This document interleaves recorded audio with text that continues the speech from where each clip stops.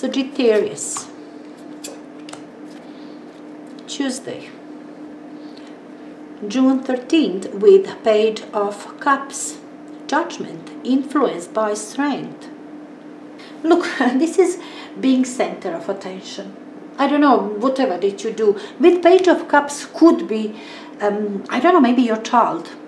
Maybe your child is popular and there is event at school or somewhere your child is singing or playing or acting or your child is doing something okay maybe something artistic your child is center of attention and you are around it okay? This is announcement this is noise around it okay? And all commotion around it. And and you're holding on to this emotion this pride this happiness which you are feeling right now now, could be all about you, that you were center of attention and you don't want it to stop. This is very young, childlike energy, very optimistic, kind of miraculous energy.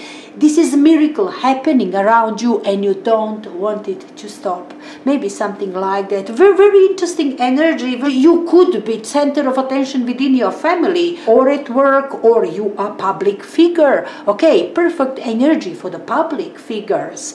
Perhaps for um, people artistic also standing proud visible maybe even little bit exaggerated okay? All this importance maybe slightly even exaggerated. But anyhow this is a lovely day for for people who were looking for popularity.